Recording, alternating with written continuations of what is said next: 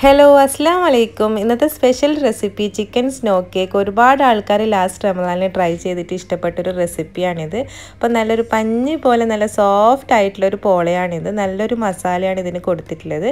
അപ്പോൾ നമുക്കിതെങ്ങനെ റെഡിയാക്കി എടുക്കുന്നത് നോക്കാം.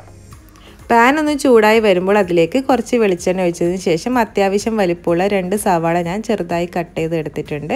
അപ്പോൾ അതൊന്ന് നമുക്ക് നന്നായിട്ടൊന്ന് വഴറ്റിയെടുക്കാം. ആവശ്യത്തിന് ഉപ്പ് കൂടി ചേർത്ത് നല്ലോണം വഴറ്റിയെടുത്തിട്ടുണ്ട്. ഇനി ഇതിലേക്ക് നമുക്കൊരു ഒരു tablespoon ginger garlic paste കൂടി ഇട്ടെടുത്തിട്ട് നമുക്ക് നന്നായിട്ടൊന്ന് വഴറ്റിയെടുക്കാം.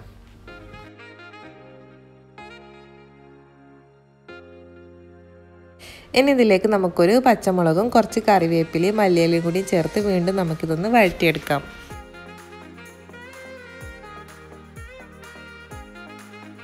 ഇനി നമുക്കിതിലേക്ക് മസാലപ്പൊടികളൊക്കെ ആഡ് ചെയ്ത് കൊടുക്കാം. ഞാൻ ഇതിലേക്ക് അര ടീസ്പൂൺ മുളക് പൊടി അര ടീസ്പൂൺ കുരുമുളക് പൊടി ഒരു ടീസ്പൂൺ ഗരം മസാല അര ടീസ്പൂൺ മഞ്ഞൾ കൂടി ഇട്ട് കൊടുത്തിട്ടുണ്ട്. എല്ലാം കൂടി ഇട്ടിട്ട് നമുക്കിതൊന്ന് നന്നായി വഴറ്റിയെടുക്കാം.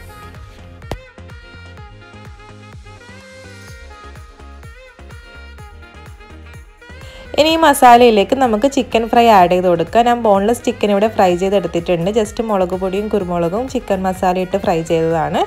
അപ്പോൾ അതുകൂടി ഇതിലേക്ക് ആഡ് ചെയ്ത് കൊടുക്കുക നല്ലോണം ചിക്കൻ ആഡ് ചെയ്തതിന് ഈ പോളം നല്ല ടേസ്റ്റാണ് അപ്പോൾ ചിക്കനും കൂടി ആഡ് ചെയ്തതിന് ശേഷം നമ്മൾ മസാല ഇവിടെ റെഡി ആയിട്ടുണ്ട്. ഇനി നമുക്കിത് സൈഡിലേക്ക് മാറ്റി വെക്കാം. ഇനി ഇതിലേക്ക് നമുക്ക് അഞ്ച് മുട്ട ആവശ്യമുണ്ട്. അപ്പം മുട്ടയുടെ മഞ്ഞയും വെള്ളയും ഞാനിവിടെ സെപ്പറേറ്റ് ചെയ്ത് വെച്ചിട്ടുണ്ട്. വെള്ളയിൽ തീരെ ഒട്ടും മഞ്ഞ ആവാൻ പാടില്ല. മഞ്ഞയിൽ ഇത്തിരി വെള്ളയായ കുഴപ്പമൊന്നുമില്ല. അപ്പം മുട്ടയുടെ മഞ്ഞ ഒന്ന് ജസ്റ്റ് മിക്സ് ചെയ്തതിന് ശേഷം നമ്മൾ നേരത്തെ റെഡിയാക്കി വെച്ച മസാല ഇതിലേക്ക് ഇട്ട് കൊടുത്ത് നന്നായി മിക്സ് ചെയ്യുക. ഇനി ഇതിലേക്ക് കുറച്ച് കറിവേപ്പിലയും മല്ലിയിലയും കൂടി ആഡ് ചെയ്യുക. എന്നിട്ട് നന്നായിട്ട് മിക്സ് ചെയ്തിട്ട് ഇത് അവിടെ സൈഡിലേക്ക് മാറ്റി വെക്കാം.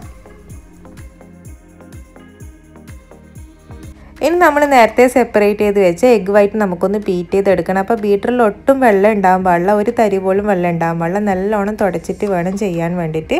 പാത്രത്തിൽ ഒട്ടും വെള്ളം ഉണ്ടാകാൻ പാടില്ല. സെപ്പറേറ്റ് ചെയ്ത് വെക്കുമ്പോൾ പ്രത്യേകം ഇത് ശ്രദ്ധിക്കണം.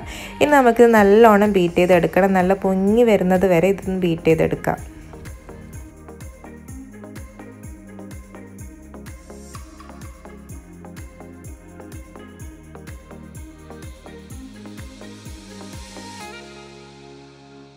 അപ്പോൾ നമ്മൾ എഗ് വൈറ്റ് നന്നായി പൊങ്ങി വന്നിട്ടുണ്ട്. ഇനി ഇതിലേക്ക് ഒന്നര ടേബിൾ സ്പൂൺ മൈദ ആഡ് ചെയ്ത് കൊടുക്കുക. ഒരു ഇത്തിരി ഉപ്പ് കൂടി ആഡ് ചെയ്ത് കൊടുക്കണം. ഉപ്പ് കൂടി പോകാണ്ടിരിക്കാൻ പ്രത്യേകം ശ്രദ്ധിക്കുക.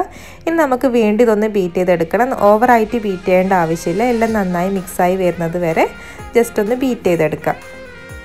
ഈ ഒരു എഗ് വൈറ്റിന്റെ പ്രോസസ്സ് ചെയ്യുമ്പോൾ ലാസ്റ്റ് നിമിഷം വേണം ഇത് ചെയ്യാൻ വേണ്ടിയിട്ട്. അല്ലെങ്കിൽ പോള നന്നായി പൊങ്ങി വരില്ല.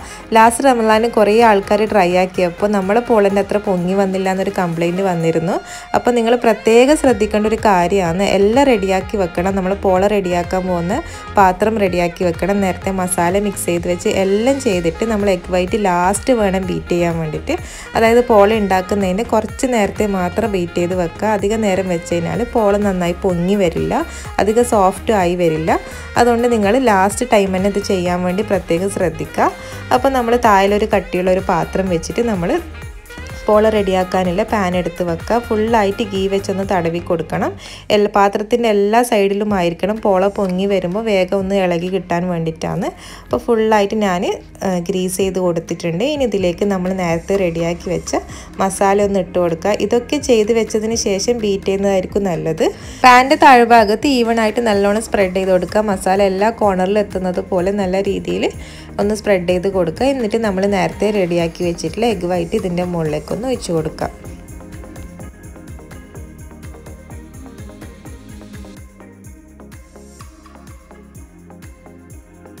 എഗ് വൈറ്റ് നല്ല ഈവൺ ആയിട്ട് സ്പ്രെഡ് ചെയ്ത് കൊടുക്കുക. അപ്പോൾ സ്പ്രെഡ് ചെയ്തതിന് ശേഷം ഒരു പത്ത് ടു പന്ത്രണ്ട് മിനിറ്റ് വേണ്ടി വരും. ഇതൊന്ന് കുക്കായി വരാൻ വേണ്ടിയിട്ട്. അപ്പോൾ കവർ ചെയ്തിട്ട് ഒരു ലോ ഫ്ലെയിം വെച്ചിട്ട് നന്നായിട്ട് കുക്ക് ചെയ്തെടുക്കുക. പത്ത് മിനിറ്റ് മതിയാവും. അധികം ഓവർ കുക്ക് ചെയ്തതിന് ഹാർഡായി പോവും.